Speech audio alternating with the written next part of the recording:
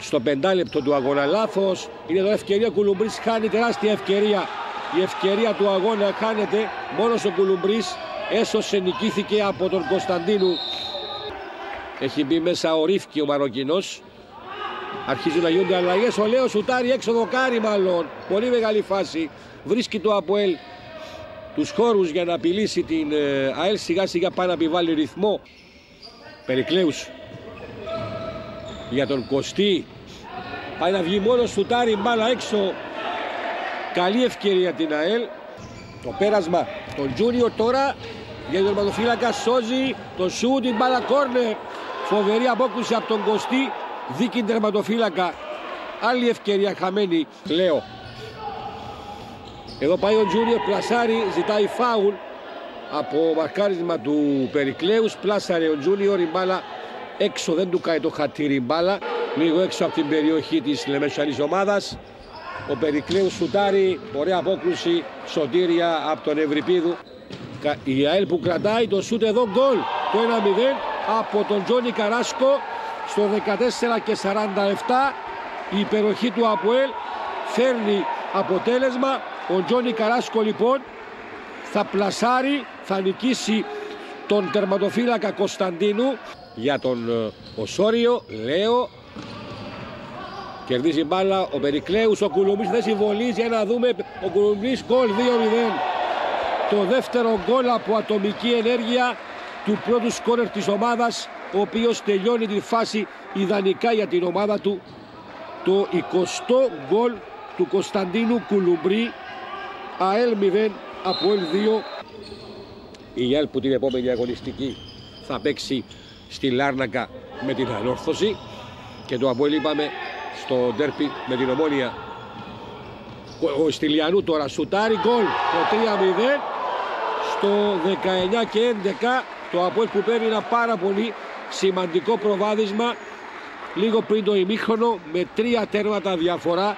Ευθύβολο σούτ από τον Στυλιανού θα νικήσει τον Κωνσταντίνου όλα έτοιμα για την έναξη του δευτέρου ημιχρόνου.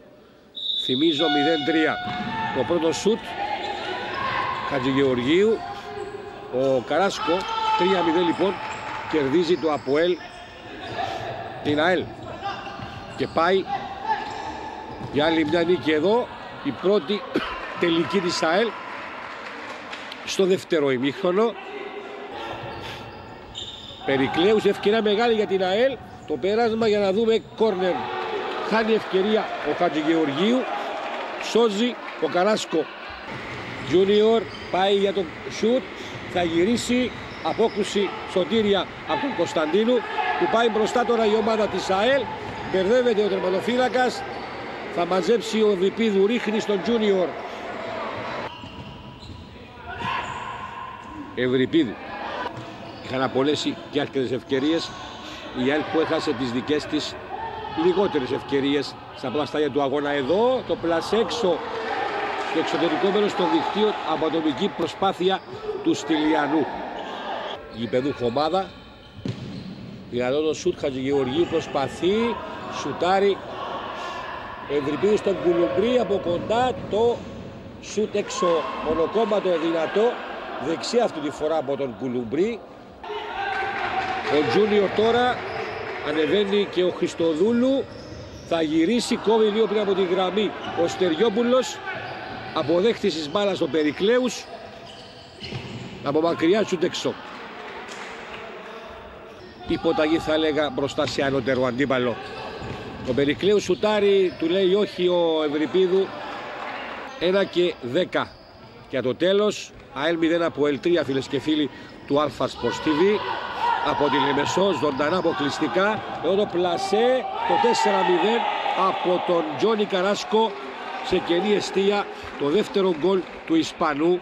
Το κερασάκι στην τούρτα κάνει αυτό στο γέμισμα. Μαζεύει ο Τσακανιάς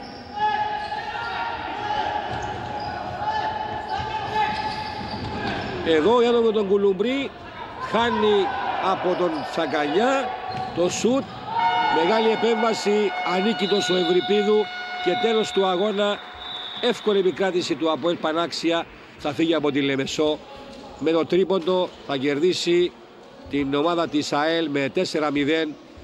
Δύο τέρματα πέτυχε ο Καράσκο, το πρώτο και το τελευταίο. Ο Κουλουμπρής το δεύτερο γκολ, το τρίτο ο Στυλιανού είχαμε ημίχρονο 0-3.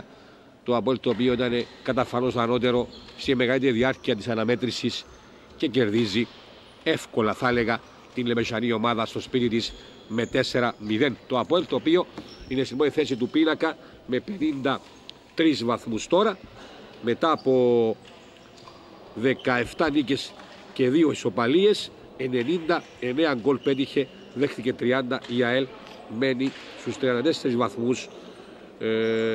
11 νίκες μία ισοπαλία και 7 ήττες. 87 γκολ πέτυχε δέχθηκε 75